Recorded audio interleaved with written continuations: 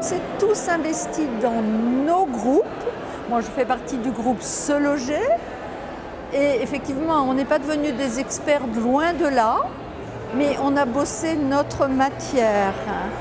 Et euh, la pandémie a eu comme avantage que l'on a eu le temps de bosser la matière des autres. Et là, les échanges d'aujourd'hui et les votes, c'est c'est extraordinaire. Il y a quand même la rénovation globale des bâtiments qui, qui a fait débat hier, c'est difficile.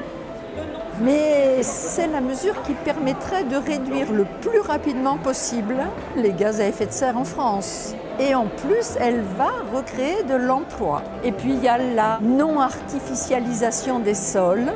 Parce qu'il faut arrêter, on ne peut pas bétonner un terrain de foot euh, toutes les deux minutes là. Quelle belle expérience humaine. Cette ouverture d'esprit qu'on a tous, on a tous fait un effort et on arrive à être convaincu, à changer de point de vue. C'est extraordinaire. C'est vraiment quelque chose qu'il faut continuer à faire cette convention. Nous, quand on est arrivé en octobre, si on nous avait dit vous voterez ça, on aurait dit non. Parce qu'on n'était pas informés. Et si, je pense que ce sera plus simple que les gens soient informés par leurs égaux et non pas par des élus.